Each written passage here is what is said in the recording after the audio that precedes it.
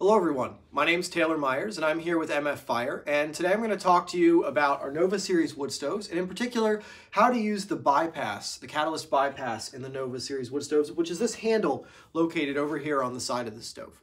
So the first thing that you need to understand is that all of our Nova series wood stoves, and that's Nova, Nova 2, the inserts and the tower models, are all equipped with a catalytic combustor. This is a catalytic combustor right here.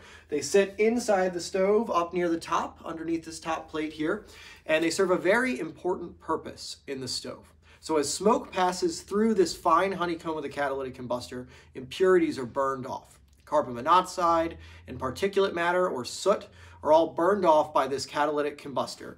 Um, and it helps to clean up the exhaust that goes up the stack or the chimney of your wood stove. But the stove needs to be hot in order for air to be properly drawn through that catalytic combustor. And until it's hot, that smoke will resist going through the fine honeycomb. So you need a way to bypass this catalytic combustor in order for the stove to get hot um, before you can engage the catalytic combustor and take full advantage of it.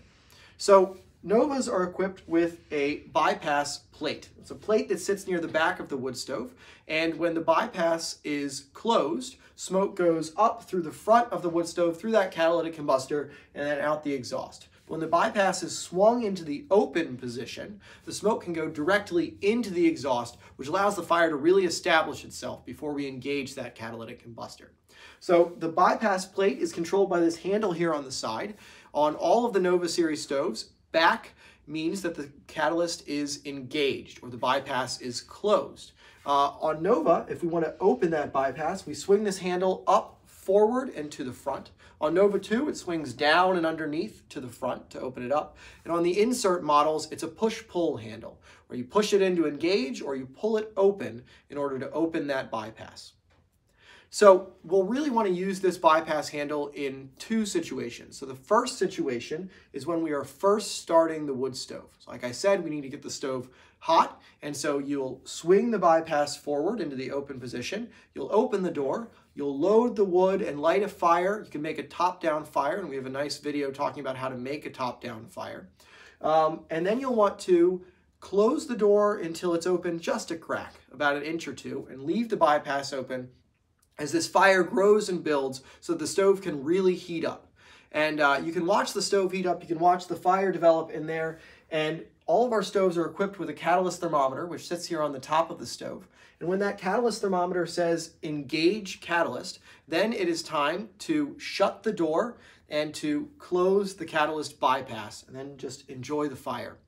The second time that you'll want to use that bypass handle is any time that you're going to go open the door of the wood stove. So that honeycomb resists the flow of air through the catalyst. Um, and if you open the door with the catalyst engaged, you can get smoke out into your room. You don't want smoke in your room. So anytime before you're gonna go open the door, you just swing that bypass handle into the forward position. Uh, and then open the door just a crack, give it just a few seconds for the air to equalize. Then you can open the door all the way. You can load wood, you can adjust your coal bed, do whatever you need, close the door, close the bypass again. So that's how you use the bypass handle in the Nova Series wood stoves. Uh, thank you all so much and stay warm.